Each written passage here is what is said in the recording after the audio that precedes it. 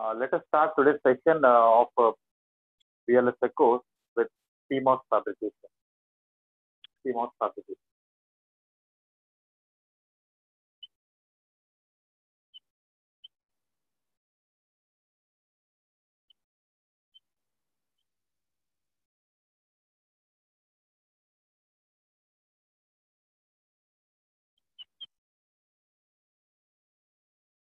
CMOS fabrication. So see, you know, in the previous class, you have studied about what is meant by fabrication and uh, what are the basic steps in fabricating any of the integrated circuits. So like we have like three basic steps, like create, uh, then again uh, design, and then later we have went for the etching process. So these are the basic steps for uh, uh, creating of or manufacturing any kind of integrated circuit. And even we have gone through what is uh, how a particular NMOS device has been manufactured and what are the different steps uh, steps in uh, manufacturing the NMOS process. So now today, uh, in the same way, we'll try to draw all the step-by-step process steps for CMOS fabrication. So let us see here now, one after the other.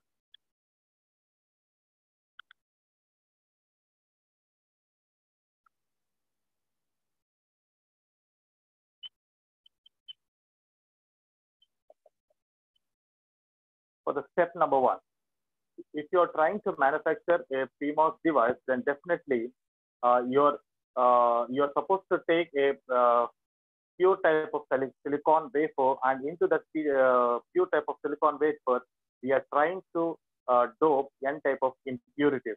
So now it means that whenever we are trying to manufacture or design an integrated circuit of P-type uh, P-type device, then the substrate will be of N-type. N-type. So now here, I'll first I'll be taking an uh, pure silicon wafer, pure silicon wafer. Then I will, uh, uh, by the diffusion process, uh, I'll, I'll dope uh, dope n type of impurities, n type of impurities into this particular purest silicon. Then that, that is how this particular uh, substrate becomes silicon substrate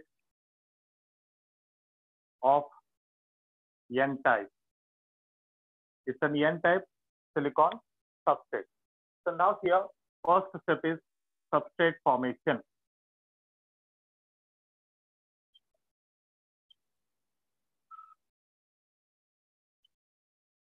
Substrate formation. So regarding the dimensions of uh, this particular wafer and everything, like uh, diameter will be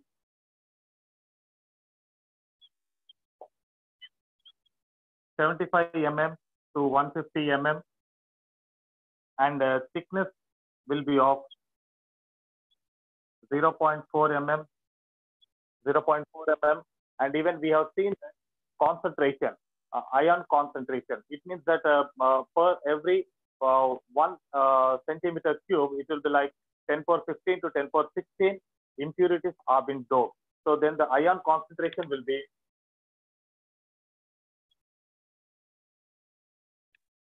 that's nothing else but the dopant concentration will be 10 power 15 per centimeter cube area of this particular uh, uh, volume of this particular uh, uh, substrate to 10 power 16 per centimeter cube. And talking about talking about the resistivity, if you talk about the resistivity, then resistivity will be resistivity will be the resistivity of this one will be 25 ohm meter ohm centimeter to 2 ohm centimeter. 25 ohm centimeter to 2 ohm centimeter.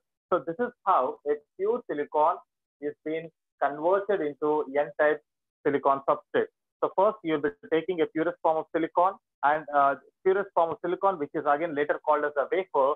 So now into this particular wafer we will be doping uh, n type of impurities. And if I talk about the n type of impurities, here uh, n type of impurities can be like uh, phosphorus. We can we can use phosphorus, arsenic, and different kinds of uh, n, n materials can be used for this uh, n type of impurities. So we can use here phosphorus is one of the example for uh, doping this n type of impurities into this uh, SI substrate.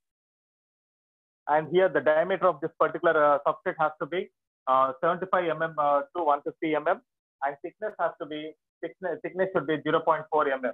And uh, ion concentration, the ion concentration of this particular impurities into the substrate should be 10 power 15 per degree Celsius uh, per uh, centimeter cube to 10 power 16 per centimeter uh, cube. And the resistivity of this uh, uh, entire substrate will be 25 ohm centimeter to 2 ohm centimeter.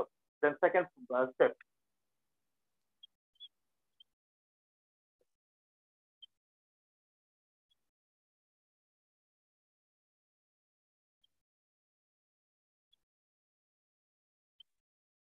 Second step. The second step is that whenever you whenever we subject this particular uh, formed n type of uh, silicon substrate to undergo the oxidation process, then that's how a new kind of layer will be formed upon this uh, wafer, and that layer is nothing else but it is called as an uh, silicon dioxide. And this silicon dioxide will be used as an insulator or barrier uh, in order to protect the substrate from further doping, uh, doping of impurities into this particular substrate. So second step will be we are having here silicon substrate of N type.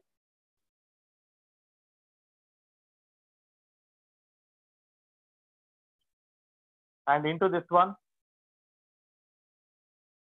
onto the silicon substrate,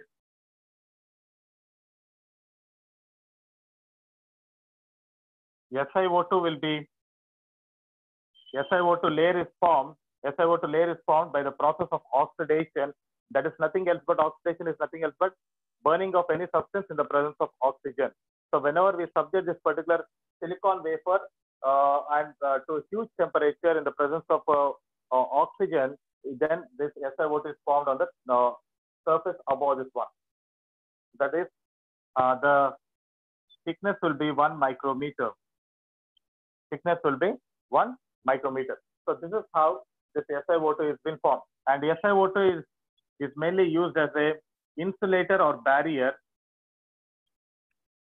It is mainly used as an insulator or barrier in order to protect the substrate from further doping of the impurities. So these are the first two steps and third one, photoresist.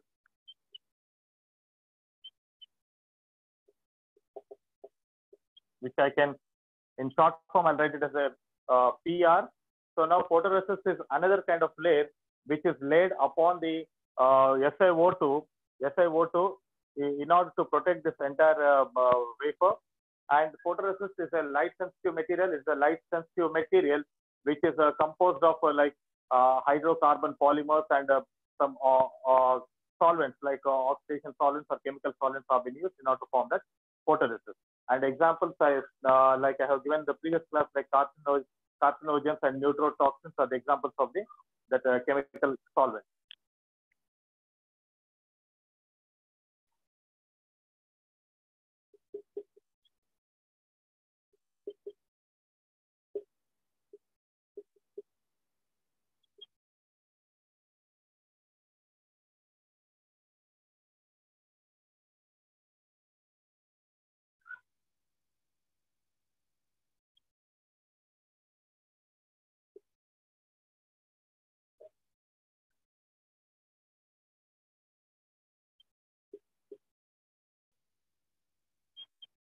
CR is a light sensitive material.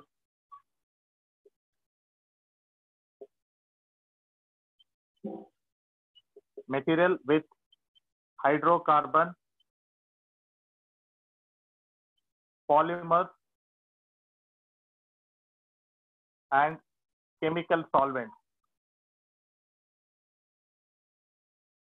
And chemical solvents. And the examples of this chemical solvents can be carcinogens, and neurotoxins. Neurotoxins. So these are the uh, this is how a PR is being formed uh, upon this uh, SiO2 layer. Then the fourth one will be UV exposure. UV exposure. It means now now we'll try to subject this entire part of this uh, uh, substrate to UV rays so that uh, wherever you want, we want our source drain and uh, uh, gate terminals to be formed, that area will be protected from the UV rays in order to exit off and form the three terminals. And other parts where we don't want the source and gate terminals, uh, source, drain and gate terminals to be formed, and that area will be hardened. We call it as a polymerization of that particular area will be done uh, by using this uh, UV exposure. And this is how where uh, this is uh, what uh, here photosynthesis, sorry, excuse me, photolithographic process has been done.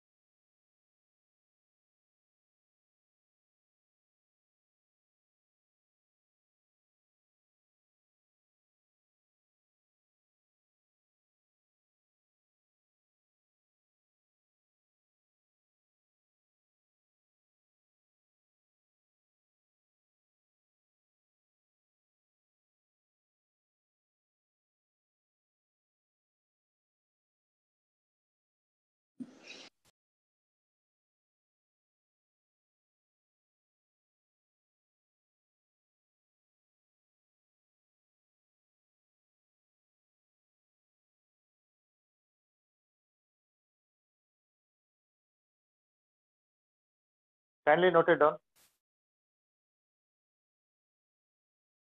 Can you hear me, everyone? Yes, sir. Ah, yes, sir. Uh, was uh, what my voice heard up to this particular point?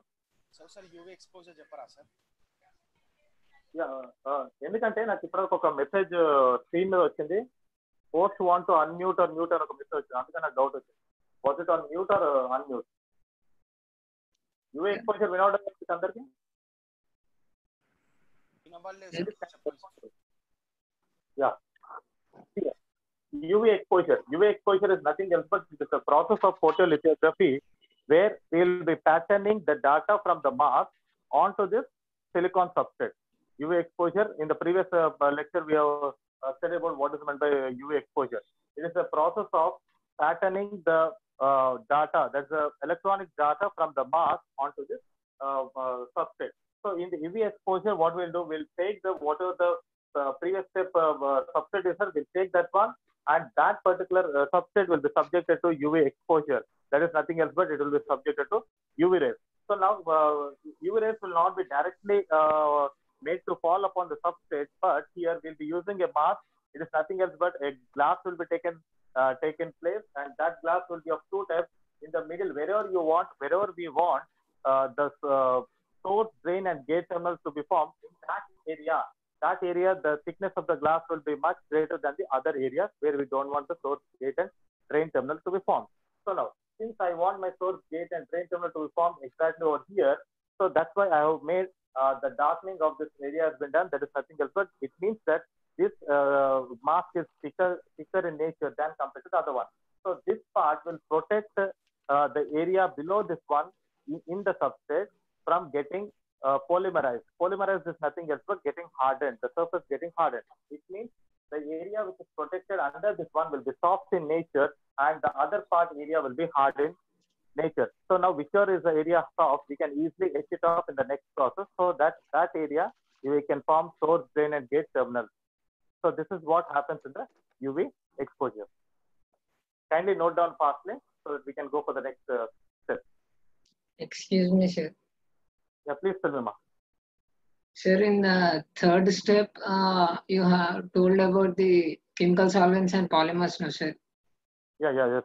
Once, can you uh, please repeat it again how they are useful in these functions? See, actually, uh, these chemical solvents and polymers are nothing else but that is a material which is used in order to form the photoresist.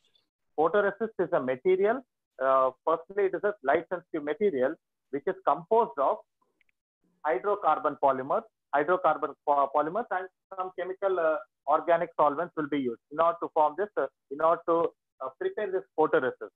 So now, uh, hydrocarbon uh, polymers are there like carbon uh, hydrochloride or different types of polymers will be there, like carbon tetrachloride and all the other different types of polymers. So now, those are the hydrocarbon polymers and chemical uh, solvents. Few examples of chemical solvents are like uh, carcinogens and neu- neurotoxins are the examples of uh, what is this chemical solvents. Like again, in if you talk about carcinogens, these carcinogens have been formed by by the help of some uh, ethylene or benzene, different kinds of chemicals will be there. By using those chemicals, uh, carcinogens and neurotoxins have been made. So this the main Sir, sir, sir, is there neurotoxins or neotoxins? Neotoxins. uh, neurotoxins, excuse me. This is a neurotoxin. Okay, sir. Okay, neurotoxins have been used. So neurotoxins have been used. Uh, so neurotoxins are mainly used for uh, sorry, this uh, uh, photoresist is mainly used uh, for uh, resisting or protecting the substrate, and that photoresist is being made up of uh, hydrocarbon uh, polymers and chemical solvents. Okay. Thank you. Okay. sir. Yeah, is it done? Shall I erase the part? Uh, this diagram. Yes,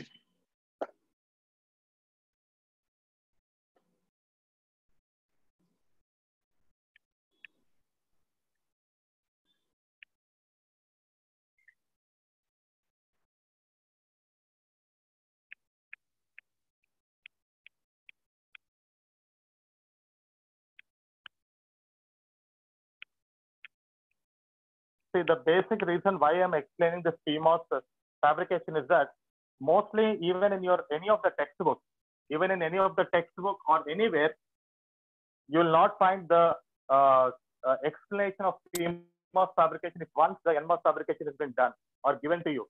And even in uh, if you even if you Google or uh, uh, look it in uh, YouTube, you'll not find the CMOS fabrication steps anywhere.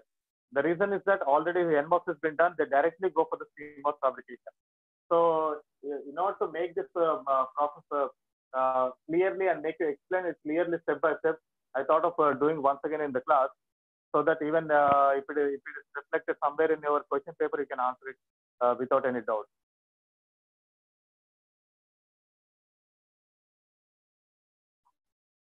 You can check in any of your uh, textbook which is uh, given uh, in your syllabus paper or in your syllabus book. Let it be like Razavi or let it be Neil Weste or many authors have been mentioned in your textbook. Nowhere you'll be finding this uh, PMOS fabrication step. Uh, since the NMOS has been done, they'll not explain the PMOS. They directly go for the CMOS fabrication. So kindly note it down neatly. Uh, step number five. Step number five is window formation.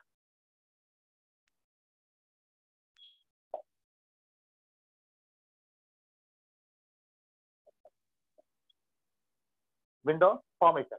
See, in the fourth step, we have seen that uh, the entire substrate with the uh, uh, uh, SiO2 and the photoresist and even the N type of silicon substrate is been subjected to UV rays so that some part of the substrate, some part of the surface of the substrate will become polymerized, that is hardened, and uh, some part of the substrate uh, will be soft in nature. So my uh, area of concentration in this uh, window formation step is that I need to etch it off. I need to remove the air, uh, all the plates like uh, photoresist, uh, the SiO2 until the surface of uh, uh, N type of silicon uh, substrate, so that uh, so that I can go on doing with another layer in order to form the gate terminal first.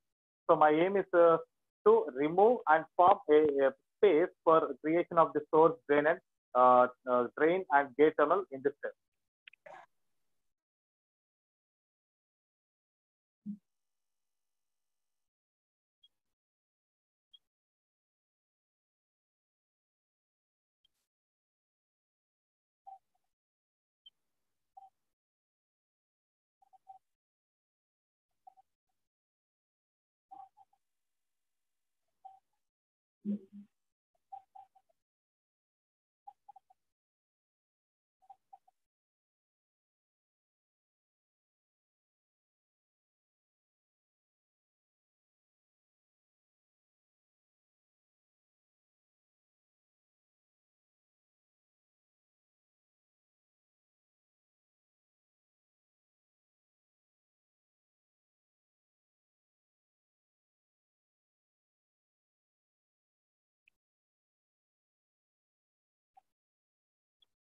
So now in this particular area, I want my gate, source, and drain terminals to be formed.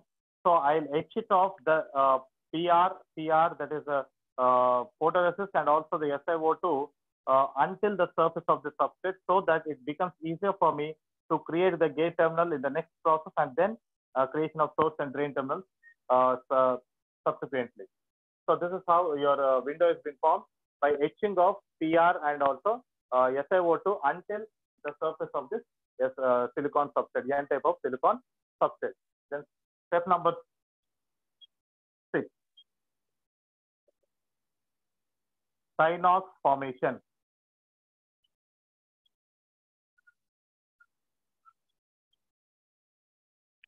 Thinox formation. Thinox formation is nothing else but it's a thin layer of uh, uh, SiO2 will be laid upon this uh, uh, thick SiO2 after removing uh, PR and the, uh, the dimensions of that particular SiO2 thickness will be of 0.1 micrometer. 0.1 micrometer.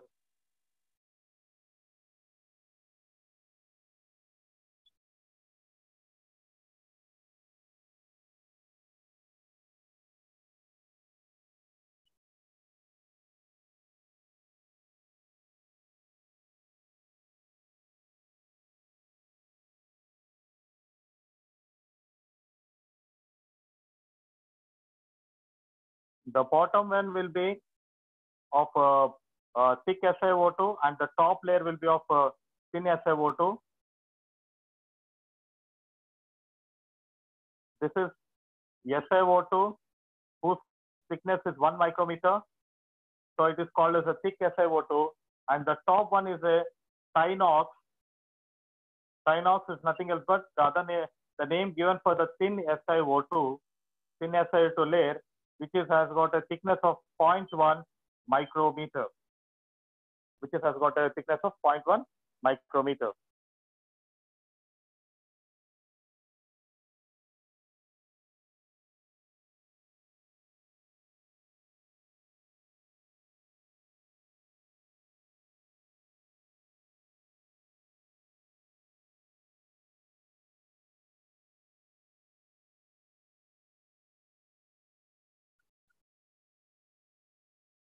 Okay, then step number seven is gate formation.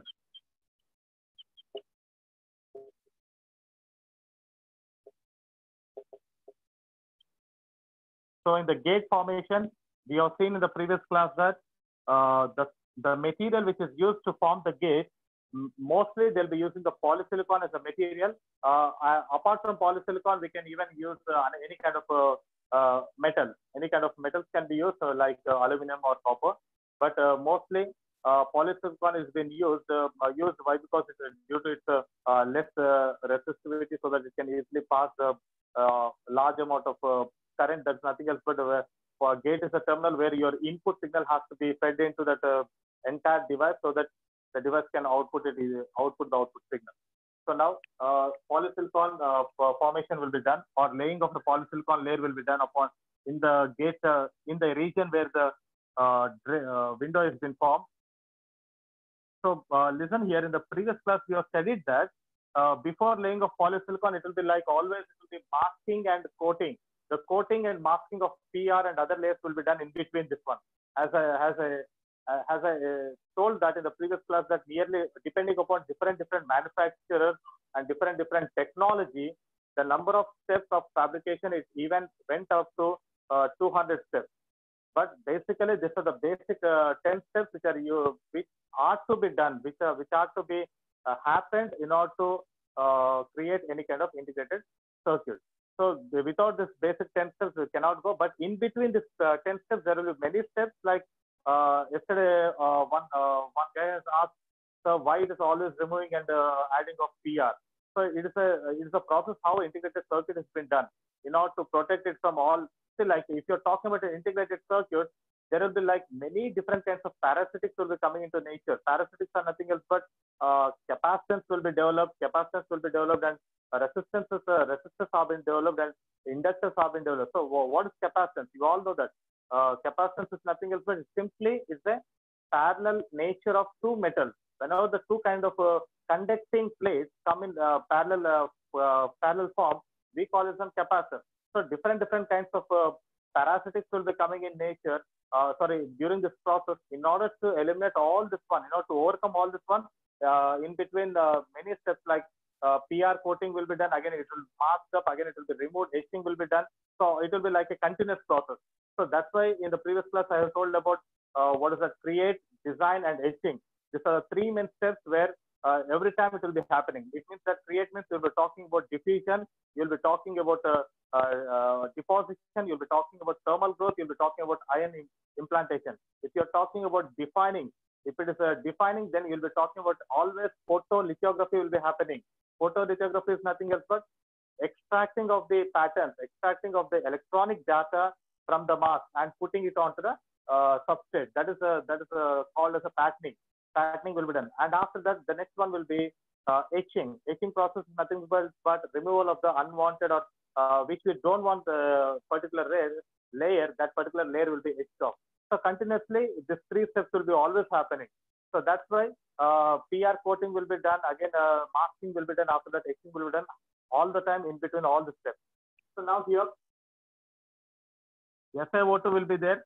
This is your SiO2 of uh, 1 micrometer thickness. This is your Thinox of uh, 0.1 micrometer thickness. And then here, uh, then here, uh, this again SiO2 will be there.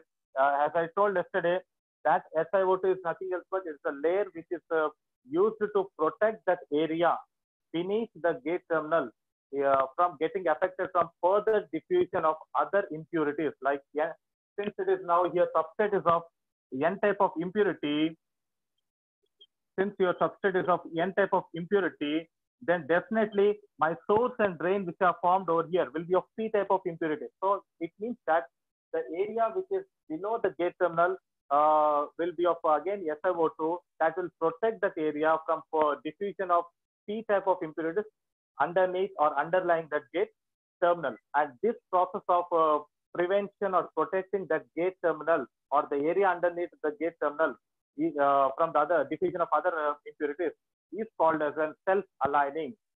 Self-aligning. Self-aligning is a process of uh, preserving or protecting the area under underneath that gate terminal from uh, further diffusion of P type of impurities or uh, any kind of impurities into the substrate. And upon this one, your gate terminal will be done. And this gate terminal will be uh, by using polysilicon. Polysilicon is nothing else but it is a crystalline form of uh, silicon. It's a crystalline form of silicon. And uh, the, the thickness of this polysilicon will be 1 to 2 micrometer. 1 to 2 micrometer. 1 to 2 micrometer. 1 to 2 micrometer and this polysilicon will act as a gate terminal. This polysilicon will act as a gate terminal for the entire device.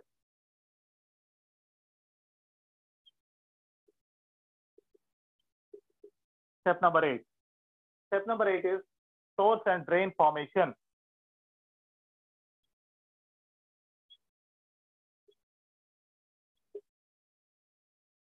Source and drain formation. So see you now, I- I- since the substrate of N type and my source and drain are to be formed of P type, so I need to diffuse a highly doped uh, P type of impurity. It, it means that a high concentration of P type of impurities has to be doped in the area where my source and drain has to be formed. So that's why I'll indicate it, I'll indicate it as a P plus, and that P plus impurities will be here uh, with the help of like uh, the doping of uh, P type of impurities will be done with the help of boron. Boron is one of the example. Boron, aluminum, all uh, P type of uh, tetravalent uh, uh, materials have been used for P type of impurities. So now here in this one, silicon substrate,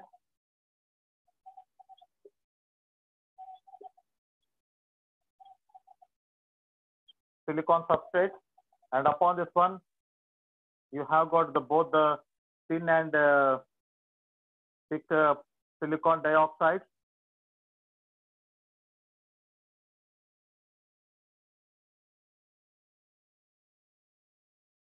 One micrometer, and this is 0.1 micrometer. SiO2, both are of SiO2 layer, and in between there is one uh, SiO2. Upon that one, the gate terminal has been formed. This is gate terminal with the help of uh, polysilicon it is formed, and this is the region where my uh, P-type and N-type impurities have been uh, uh, diffused. So now this is, I'll write here as P-type, P plus, and P plus, P plus impl implies that it's a highly uh, concentrated impurities, highly doped area. Uh, so that's how this, this too will act as a source and drain terminal for this entire uh, device. So please kindly note it down.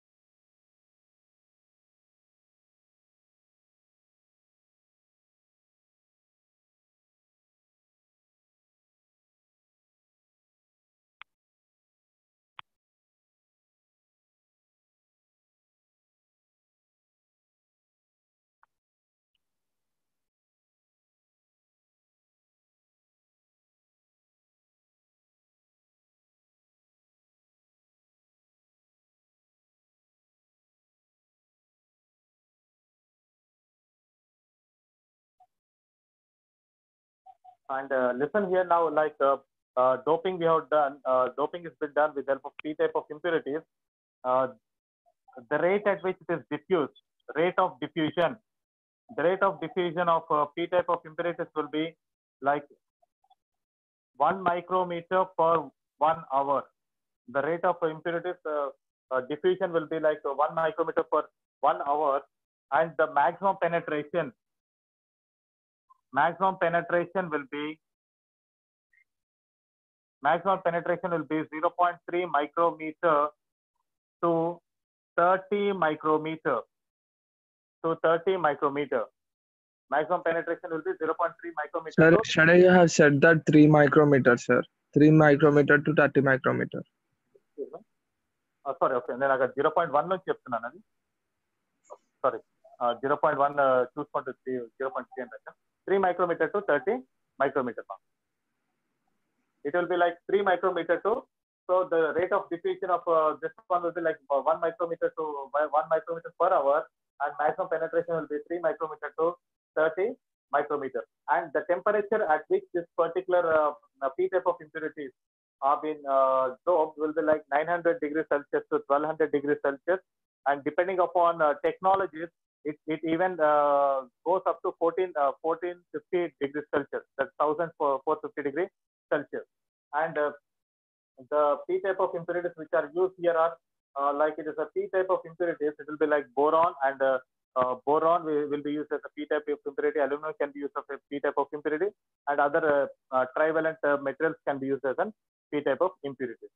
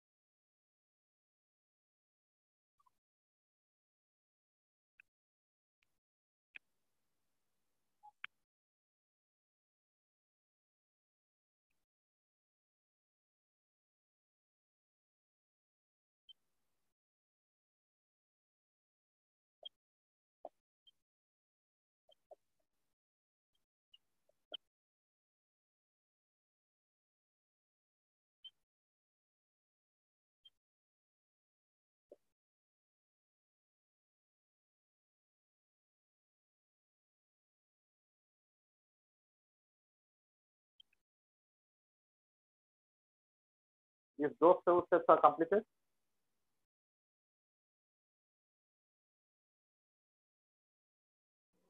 Yes, sir. Uh, okay, contact cut. Contact is the area where is the area where uh, SiO2. It means that say, listen here, the entire surface, entire surface will be again uh, masked or coated with the PR and uh, uh, thin oxide and uh, uh, thick oxide.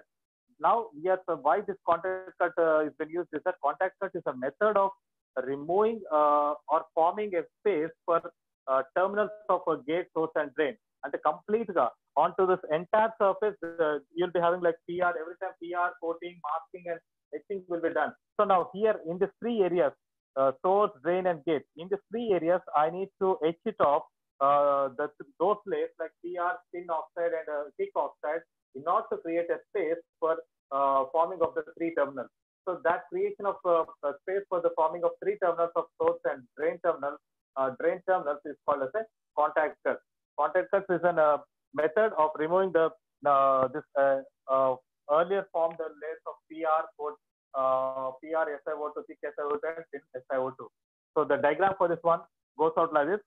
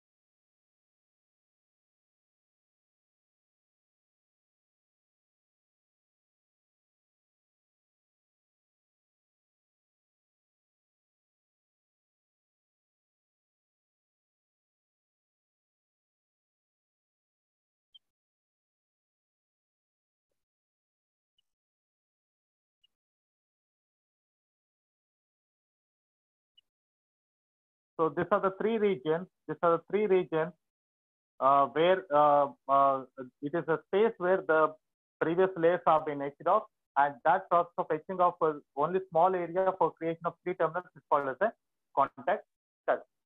And the next one will be next one will be metallization process. Metallization process is nothing else but laying of complete metal. Okay, laying of complete metal, or uh, here aluminum will be used. Laying of complete aluminum metal onto this entire surface of this uh, substrate and then after that etching will be done in in the area where we don't want that uh, don't want that particular uh, metal layer. And the metal layer will be kept only in the areas where my source drain and gate are there. And those will be the three those will those three metal parts will act as the three terminals of this entire device. And the uh, thickness of that metal layer will be one micrometer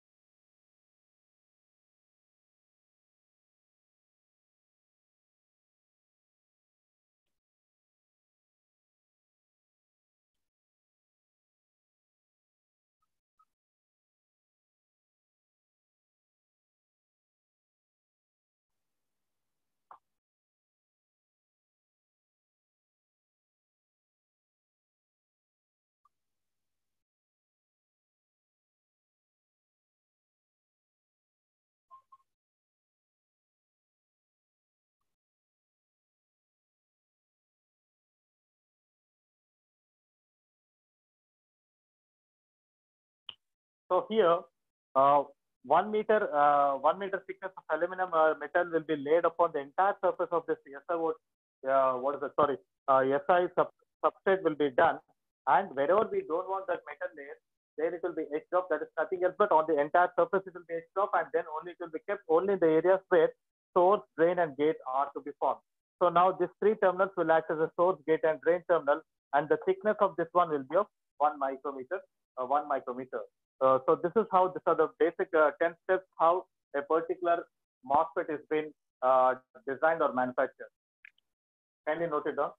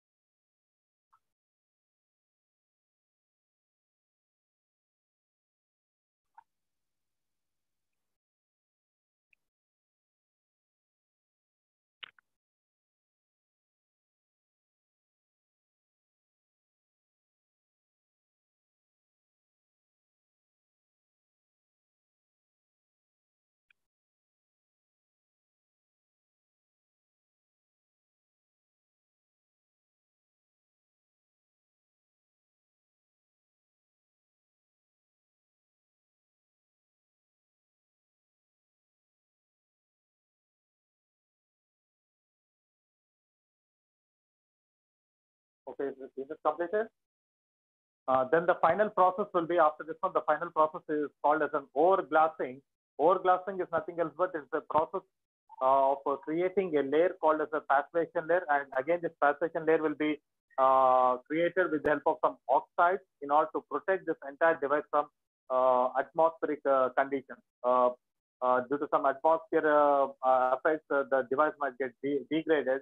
So in order to protect the uh, characteristics or parameters of this uh, uh, device, they'll be again going for the next process called as an overglassing is the final step of this fabrication.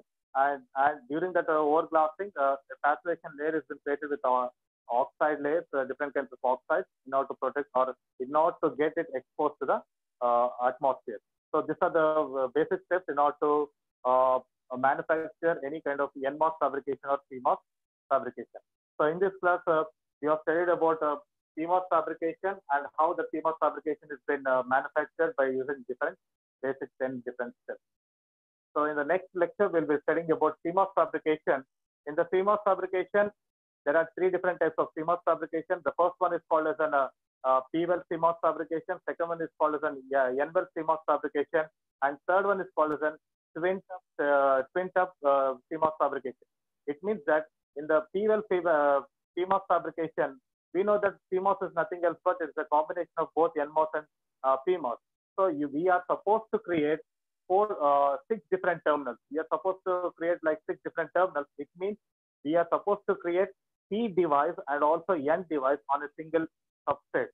So that's why we'll uh, completely etch off one, uh, one kind of uh, substrate and into the substrate, we'll fill again uh, different kind of impurities in order to form another substrate. It means that a subset is developed into an another subset in order to form two different devices. So that's how uh, P-well, uh, P-well uh, uh, fabrication is been formed or N-well fabrication is formed. And later the third kind of uh, CMOS fabrication is uh, twin tub uh, CMOS fabrication. Means two wells will be formed. Into the two wells will be uh, uh, manufacturing two devices separately, yeah, N device and P device. So that's how we'll we'll be looking into that uh, next uh, fabrication method. And in next fabrication method, the CMOS fabrication We'll not be going into this much details. Why? Because now you are all aware about uh, all the basic steps of fabrication. We'll be talking about only the basically only five steps of CMOS fabrication for the next uh, types of CMOS fabrication. Okay, uh, we'll see the CMOS fabrication in the next class. And as of now, uh, the, this class is complete. Thank you. Uh, Karthik sir, Yes, sir. uh, sir, you can poll the questions now. Okay, sir. Okay, sir. Okay, thank you, sir. Thank you. Thank you, sir.